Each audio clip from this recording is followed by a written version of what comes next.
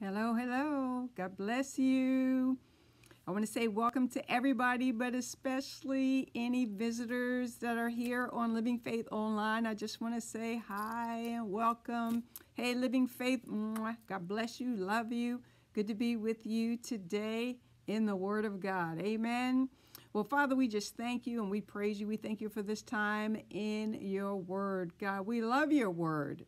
Man, it gives us uh, revelation gives us peace it gives us hope it gives us strength uh, it gives us uh, pictures imagination for our future. And so father we just thank you for blessing this time together.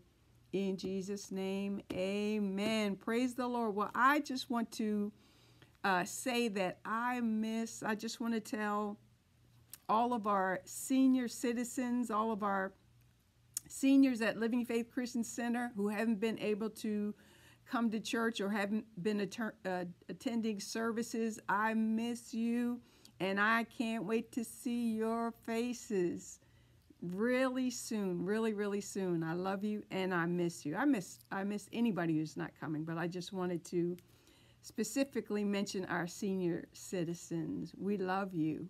We love you.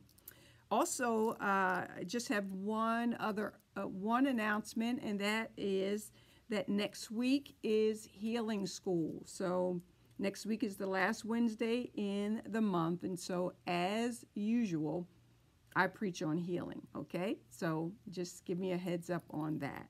All right, well, tonight we're going to continue to talk about the imagination, how God has given us it's a god-given imagination. I know sunday i was as i was preaching and i just uh, was prompted to say that we have supernatural powers. And we can actually say that we have superpowers or supernatural powers because we've been given powers. We've been given power abilities and authority by God Himself. And God is a supernatural God. Amen. He is spirit. He's a spirit. And uh, so, whatever He gives us, it's a supernatural power and a supernatural ability that we've been given because we are created. Uh, we're tripart beings. We are spirit first. We possess a soul and we live in a body. But we are a spirit man. And so God has given us spiritual gifts, spiritual abilities. We're going to talk about, uh, continue talking about the imagination because God has given us an imagination. It was His idea, it wasn't our idea. But just like everything that the devil does, he always wants to try to hijack anything that comes from God. Amen. And so we don't want to do it. Somebody say, Don't do it. I'm not going to do it. I'm not going to give my imagination over to the devil. I'm going to uh, to yield my imagination to God. All right, so we know that we saw that in Genesis chapter 3 that Adam and Eve they functioned with an imagination, with their imagination. Adam used his imagination, uh, as the scripture says, and uh, uh, it says that uh, God watched to see what he would call them, what he would call the animals, and uh, we know that Adam used his imagination to name the animals. We also saw in Genesis chapter 3, in Genesis chapter 3, where uh, Eve took the wrong route, both Adam and Eve, and she allowed the serpent to beguile her and deceive her. And he used her ability, her supernatural power of a, uh, an ability to to imagine things, to see things, to see mental pictures, to see mental images. Amen. And but he caused her to use it uh, against her, to use it for bad, right? Uh, we also read, and this is just a review, in Genesis chapter 6 and verse 5, how it says how God saw that the wickedness of man was great in the earth, and that every imagination of the thoughts of his heart was only evil continually. So I, I want to uh, make note uh, that this scripture in Genesis chapter 6 and verse 5, it mentions three things at least that involve the um, imagination. And it says that, and that every imagination, the ability to see pictures, the ability ability to see images. It says that every imagination of the thoughts, there goes another word, of his heart were evil continually. So the imagination is connected, obviously, according to the scriptures. Our imagination is connected to our heart and is connected to our thoughts, right? It's connected to our mind, our soul. Our soul is made up of our, our mind, our will, and our emotions, and our imagination. And so God saw that it was evil continually. And then, we, of course, we know the flood came. And then in Genesis chapter 11 and verses 1 through 9, we see how men had uh, uh, agreed together to build the Tower of Babel and to build a city. And they said that they would make their name great and uh, they and so that they wouldn't be scattered over the face of the earth, which was the will of God, because Adam and Eve were supposed to populate the earth. They weren't supposed to stick in one spot. Amen. And so, uh, in in verse six of Genesis chapter eleven, uh, God said, "They said, let us go down."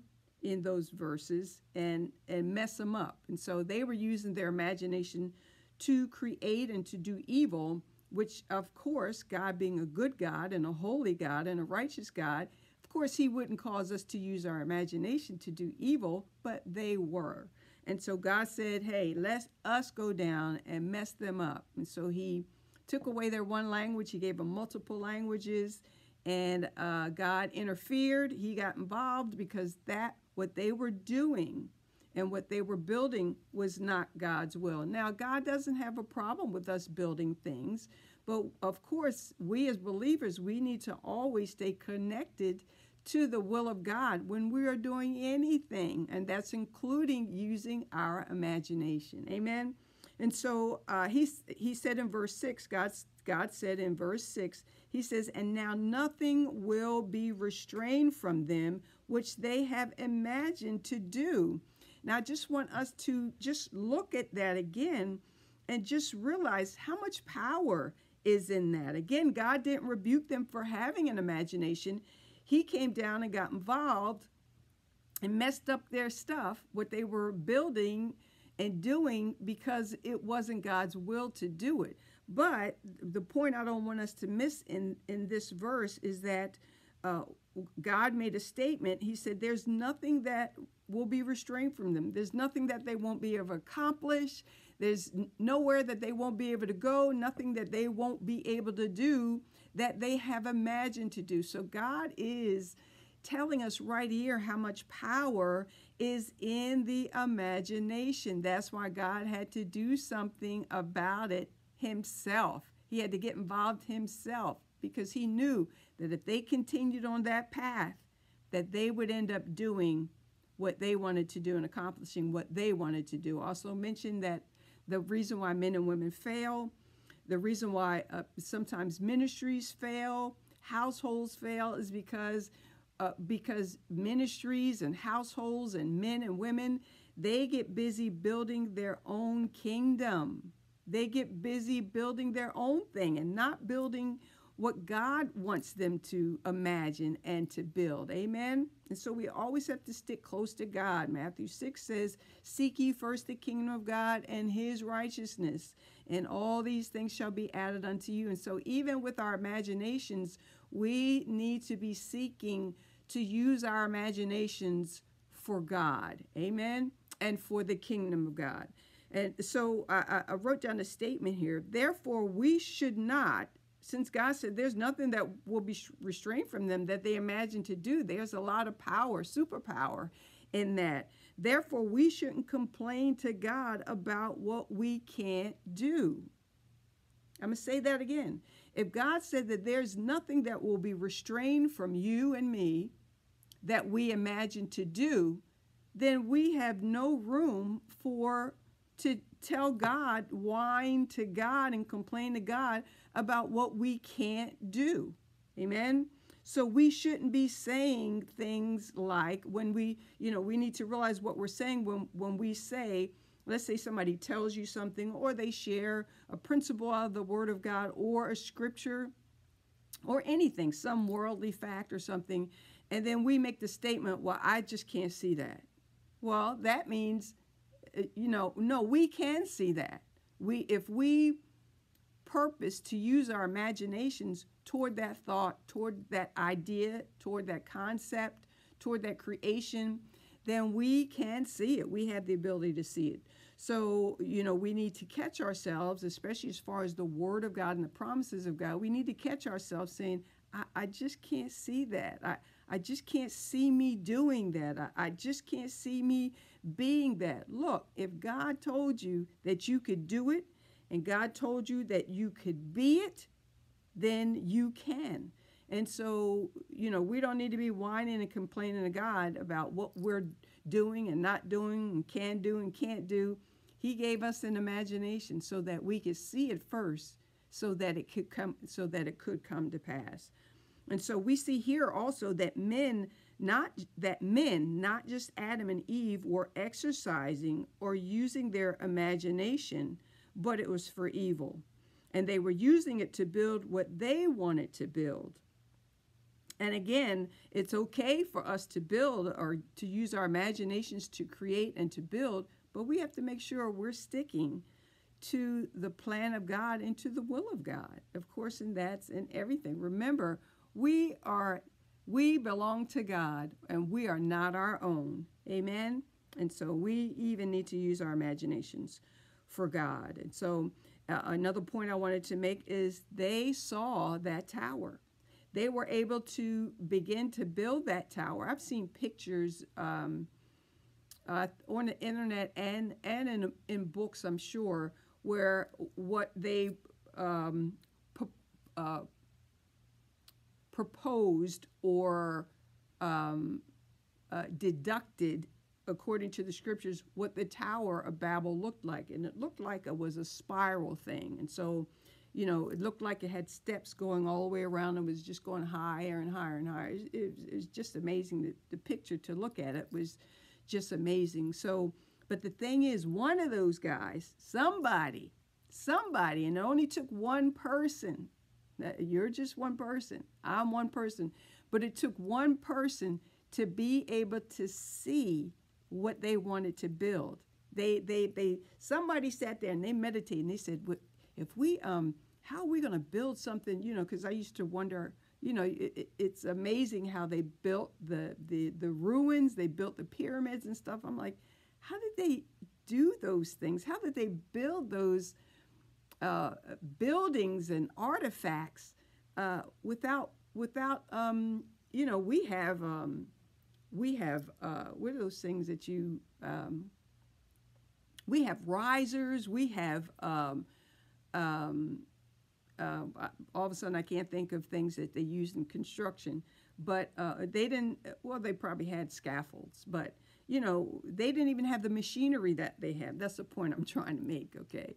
And so, but they were still able to uh, uh, imagine and to see this tower that they were going to build all the way to heaven. Just, just an amazing thing. Uh, in Genesis chapter 1 and verses 26 to 28, I wanted to um, uh, uh, I wanted to uh, talk about this scripture for a minute because in Genesis chapter 1, verses 26 to 28, I'm going to focus on verse 28 in particular. But it says, And God blessed them, and God said unto them, Be fruitful, multiply, replenish the earth, and to subdue it and to have dominion.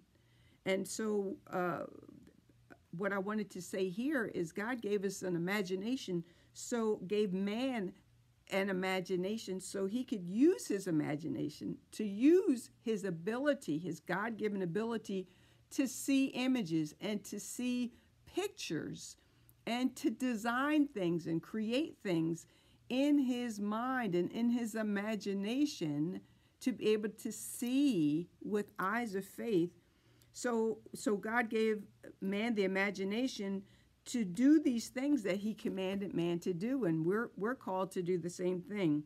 And the word uh, to be fruitful means to bear fruit, to means, it means to bring forth, it means to grow, and it means to increase.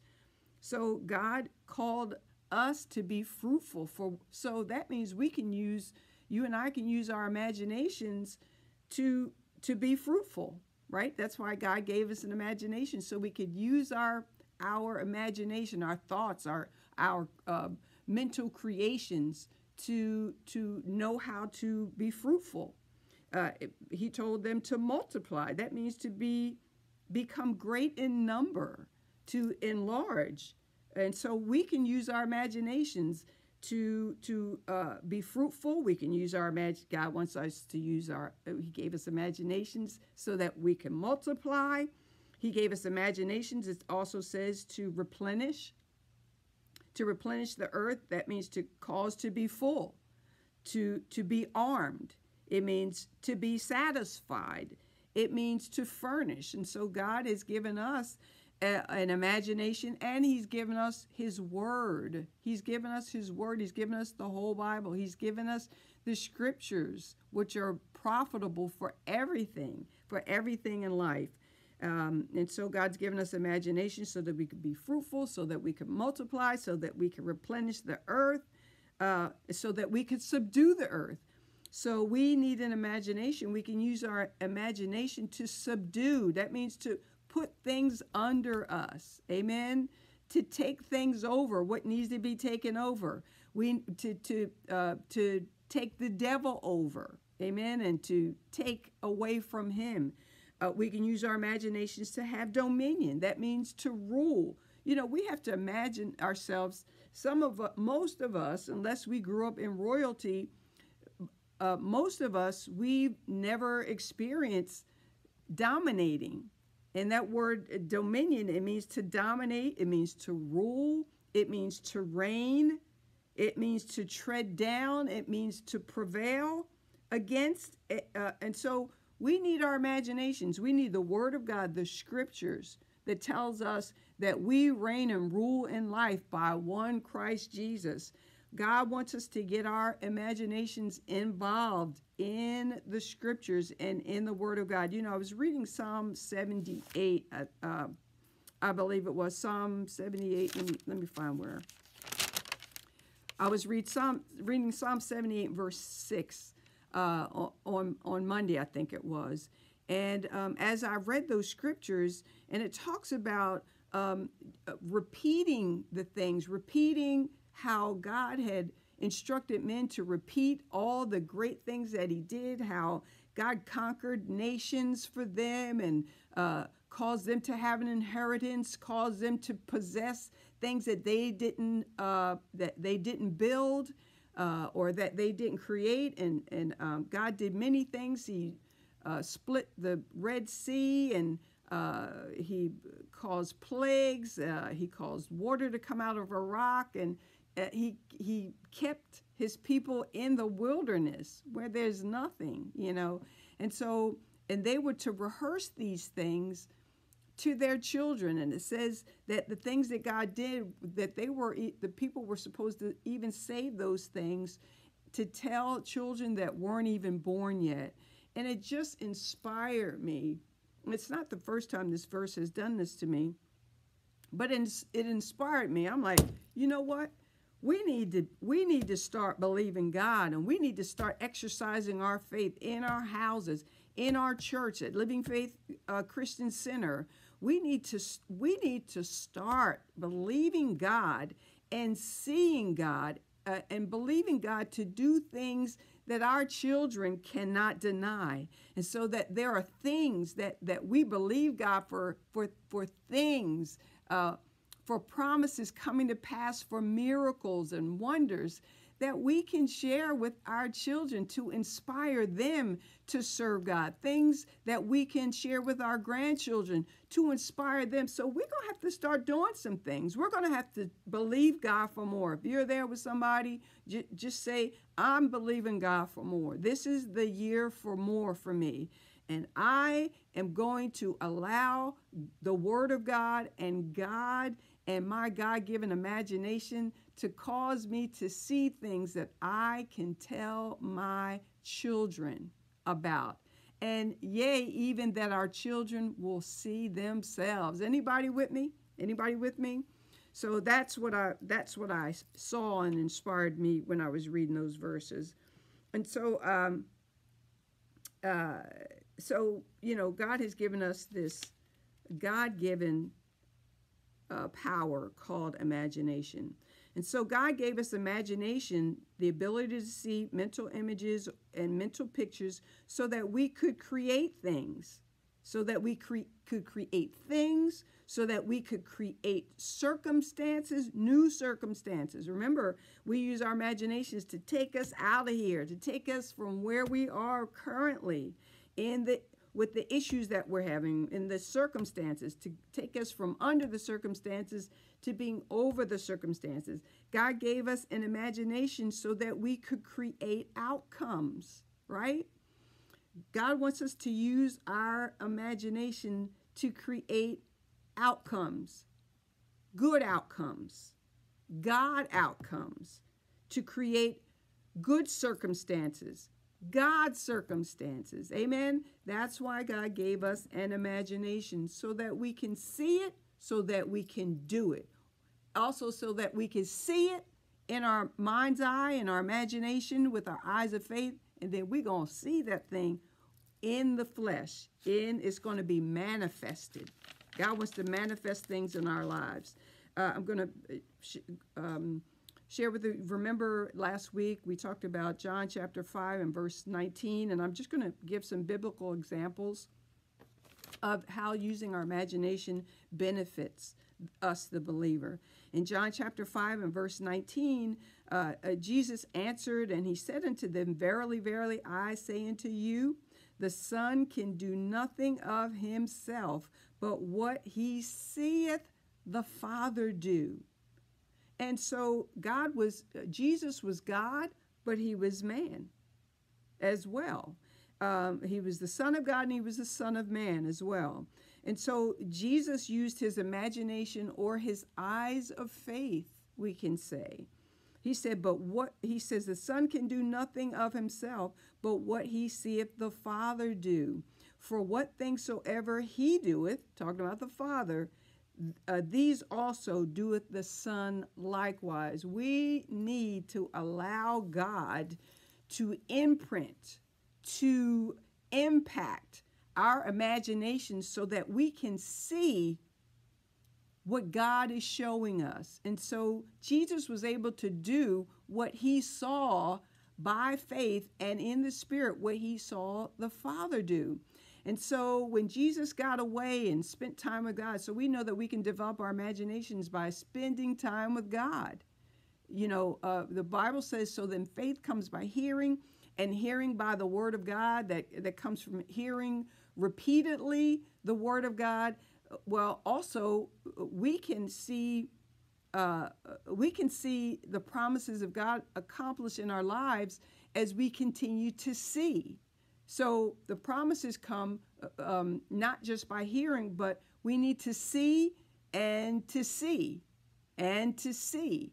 Amen. So we don't just let God use our imagination on Sundays. No, we have to be using our imaginations all the time so that we can continue to see what we we're believing God for. And so God himself, Jesus himself used his imagination. In Matthew chapter 9 and verse 20, it talks about the woman with the, with the issue of blood. Now, she had spent all that she had, the doctors couldn't help her, and she had decided, she had heard about Jesus, of course, faith comes by hearing, but she had decided, she said, if I could just touch the hem of his garment, I will be made whole.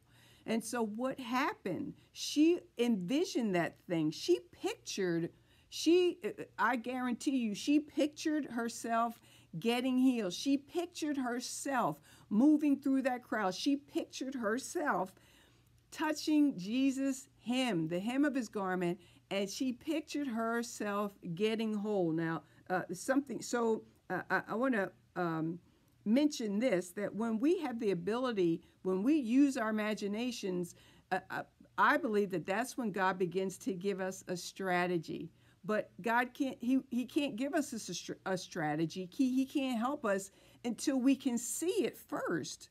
And so we see his word, we see his promises, we see the things that he has spoken to our hearts. The Bible says that God would give us, that it's okay for us to delight in other things, but God said, if you delight yourself in me, I'll give you the desires of your heart. And so I, I made a note here that because this woman, because she heard about Jesus, she got faith in what she heard, and she had determined, she this woman used her imagination and she saw herself healed. God gave this woman a strategy. He gave her a strategy. Now, she was, when you had an issue of blood, you were unclean. If you were a hemorrhaging woman, you were unclean and you weren't even supposed to be out in public. And so I believe that as this woman saw herself healed, I believe that God gave her a strategy, um, uh, how a strategy of how she would slip through the crowd. How was she going to slip through a crowd and nobody see her? How was she going to get close enough to Jesus to touch his garment so that she could be healed? I believe that once she saw it with her imagination, that God gave her the strategy to to get to Jesus. Amen. Because that's what she saw, that's what she wanted. And God will do the same thing for us. If we could just see it, God will help us with a strategy. In Genesis chapter 15 and verse 5, God encouraged, he, he called Abraham aside and he, he told Abraham to look at the stars and he said, if you can count the stars in the sky, then you can count the seed and the nations that I'm going to produce through your loins. What was God say, say doing? God was uh, causing Abraham to use his imagination to see what God had been telling him, that what God had been promising him. And so uh, God told him to look at the stars. And he says, You're going to have many descendants. You're going to have uh, many seed. Now, did Abraham look at the stars and start seeing he had little stars running around? No. God caused Abraham to use his imagination to see little people, to see people, to see generations and nations coming out of his loins. Amen. And so, God, right there in Genesis 15 and verse 5, God Himself was encouraging and stirring and activating Abraham's imagination so that he could see the promise of God. That's that's powerful. Amen. And so God used what he had, right? God used what he had and God had stars and it was so many stars. He said, if you can count them, then you can count how many people are going to come from you. Amen. Uh, Psalm 27 and verse 13, it says, I would have fainted I would have fainted had I not believed to see the goodness of the Lord in the land of the living. God doesn't want us to faint. God doesn't want us to pass out. God doesn't want us to give up on the things that He has told us, told us and the things that He has shown us. He doesn't want us to faint when somebody dies. He doesn't want us to faint when tragedy appears.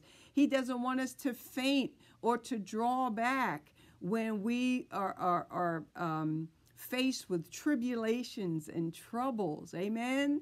We all face various uh, things in life. Life isn't always always just perfect. You know, everything's all just beautiful. No, we there's some challenges where we just have to use our faith at a whole nother level. And so uh, Psalm 27, 13 again, I would have fainted if I hadn't what? If I had not believed to see the goodness of the Lord. God gave us an imagination so even when things look bad, that we can use our imaginations to see good. Amen? We can see good in our imaginations so that we can see good, that we will see good come to pass, but we got to see it first. Amen? God wants to help us, but we have to see first. We have to see first, amen? So we don't want our imaginations to be dormant. We don't want to be uh, uh, uh, imagination zombies. We don't want we don't want to just be sitting like you know, oh you know, oh it is what it is, and gee, I wonder what God's gonna do in my life right now. You know, I wonder, you know, I wonder, uh, Lord, just just come take me you know, nothing's changing in my life, everything's the same. You know, no, you, we don't need to be zombies. We need to be exercising our faith at all times. And it starts with the imagination. When it looks like nothing's happening in the natural, we can start with our imaginations. Amen.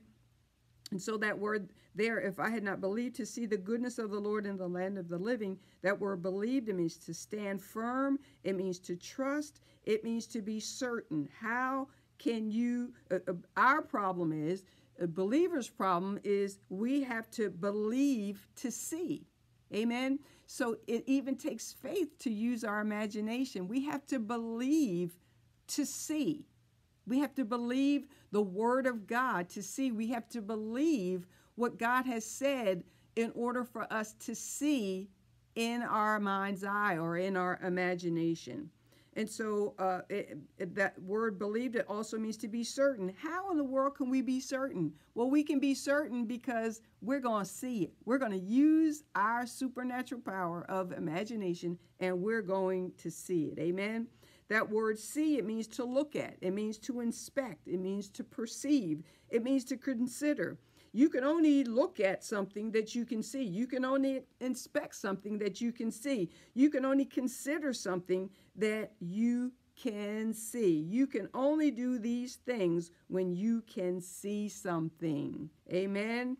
And so uh, that scripture is very clear that you have to see. When my husband passed away went to heaven, I had to believe. I had to I had to close my eyes and I had to determine that good was still going to happen in my life. I was still going to see the goodness of God. I was still going to see the provision of God. I was still going to experience the love of God, the promises of God. All these things I had to believe. Amen. So that I would not faint. We have to use our imagination so we don't faint, man. We, we, we don't want to faint. We got to see what God shows us and what God is telling us. In Numbers 13, I'm, I'm getting ready to close here. In Numbers 13, God sent the spies into the, to, into the promised land. God was activating, uh, um, uh, he was causing them to see something. It's like us seeing in our imagination when we read the Word of God and see ourselves in the Word of God. Well, He sent them to spy out the land. Our imaginations will cause us to spy out the land, to spy out the things that God has promised to us. Amen. And so um, he, God sent them to see something, to activate their courage, to activate their strength, to activate their determination. Amen. So God has given us the imagination to do the very same thing. Amen. Two came back and they saw that they could conquer by using their imaginations, even though what they had they saw the same thing the other 10 spies saw. The t- 10 spies saw defeat, two spies saw victory. Amen. So it depends on how, how each man saw. Amen. So it depends on how we see that is going to determine our outcome. And lastly, in Judges chapter 7, when God called Gideon, and Gideon was just minding his own business, when God came along and called him a mighty man of God, and he was like, Who, you talking to me? but there was something that God had called Gideon to do. He had called him to defeat, uh, I, I, believe it was the Philistines, I think. I think. Um, but God wanted to use Gideon. This was this was Gideon's appointed time, amen, to, to do something. So what did God do? He God God encouraged him. He did the fleece thing, you know, dry and then wet and you know all that. But also what God did is he he caused Gideon, he called he told Gideon to go to the enemy's camp. And now it's bothering me that if whether it was the Philistines or not. It was an enemy, let's put it that way.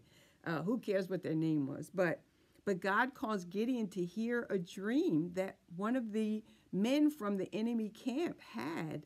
And when he heard the dream, it caused it it it, it told it let Gideon know that they were going to win, that that the enemy was going to be defeated by God and by Gideon, and by Gideon's army. Amen. Even though he just had 300. So when Gideon heard that, same thing happens when we hear the word of God. Incline thine ear unto my words, right? And, and, and to my sayings. Pay attention to my sayings. And so when Gideon heard the dream, it caused him to use his imagination. He heard those words, he heard that dream, and it caused him to see. He could he could then see his victory in overcoming uh, the, in, in winning in this battle. And of course, we uh, if you read the story, we know that he won. Amen. That they won with God's help. Praise the Lord. So God wants you and I to use our imaginations. It's very powerful. It's a superpower that we have. God has given us the ability to see, to change our destiny, to change our condition to change our bodies. Amen. Um, and so, so we need to imagine our, our ourselves uh, in these things. And uh, I'm, I'm, so sorry I ran out of time. I had I had things to do, and so, um, uh, so, so, so let's get to it. Let's read the Word of God. Let's let's hear from God so that our imaginations can be activated. Amen. Praise the Lord. Glory to God. All right. Well, it for some of you tonight, it um, it may be your time that you've chosen to uh, present God with His tithe and to give an offering today, and so. Uh, we're going to give you some information under this video. There are three ways to give. If you're tithing tonight or you're giving, you're sowing a seed tonight, into the kingdom of God, into the gospel of God, and into your your own ministry, Living Faith. And so there's three ways to give. You can give by going online, by going to lfccnj.com forward slash giving. You can text to give by texting LFCCNJ to 77977. You can also mail in, of course, your tithe to 2323 Route 73 in Pennsauken, New Jersey. The zip code is 08110. And the two scriptures that I wanted to use tonight one is in Genesis chapter 12. We talked about Abraham uh, a little bit tonight. And God told Abraham in Genesis chapter 12, verses 1 to 3, He said, Now the Lord had said to Abraham, Get out of your country, from your family, and from your father's house to a land that I will show you. I will make you a great nation. I will bless you. I, and make your name great, and you shall be a blessing. I will bless those who bless you, and I will curse him who curses you. And in you all the families of the earth shall be blessed. Remember when God showed Abraham all the stars, and he said, Look, buddy, you're going to have so many offspring. And which leads me to um, leads me to uh, Galatians chapter 3, in verses uh, 13 and 14. Galatians chapter 3 and verses 13 and 14. I'm going to read that really quick and uh, as you're preparing your offering and your tithe. And Galatians 3:13, of course, is the New King James Version. It says, Christ has redeemed us from the curse of the law, having become a curse for us. Somebody say, Thank you, Jesus. For it is written, uh, Cursed is everyone who hangs on a tree Verse 14, that the blessing of Abraham might come upon the Gentiles in Christ Jesus. If you're Jew or Gentile, Gentile in the Bible, it means uh, a non, it means a non-Jew. And of course, now we're all in the same family of God, Jew and Gentile. But it says that the blessing, Jesus took on the curse, he became a curse for us, that the blessing of Abraham might come upon the Gentiles in Christ Jesus, that we might receive the promise of the Spirit through faith. And so God told Abraham, I'm going to bless you that you can be a blessing. Look, God has called you and me to be a blessing to other people. Maybe that's not you. Maybe you're not in, in the uh, position to do that right now. Well, you can use your imagination and you can use your words of faith and confessions and declarations. God, I determine right now that I am going to be blessed or that I am blessed and I I will be a blessing to other people. And, and just tell God, God, I, I, I don't have enough right now, but God, I'm believing you. Your word says this that you became a curse and that the blessing of Abraham will come on me. So, God, I thank you that the blessing of Abraham is coming on my life and I'll be able to be a blessing to people so that I can imagine myself giving to people, helping people uh, when they're in need so that I can be a blessing to people. So, Father, we just thank you. And we praise you, Father. We, we present the tithe to you tonight and we present an offering. And God, we thank you that you promised that you would open the windows of heaven over our lives as we become tithers and givers. You told us that you would cause us to have a harvest of 30, 60, and even a hundredfold return on our giving. So, Father, we just thank you and we declare that uh, we are blessed in every way. Amen.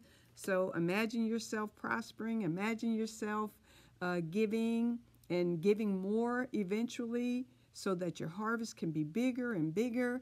And then uh, until the point where one day you are self-sufficient and you don't need anybody's help.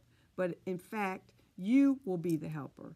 I will be the financial helper when we see the blessings of prosperity and more than enough come to pass in our lives. Well i have to go. I love being with you. I will see you again next week. Remember next week is healing school. And um, and so I'll see you next week, or I'll see you Sunday in church. Love you. God bless you. Bye.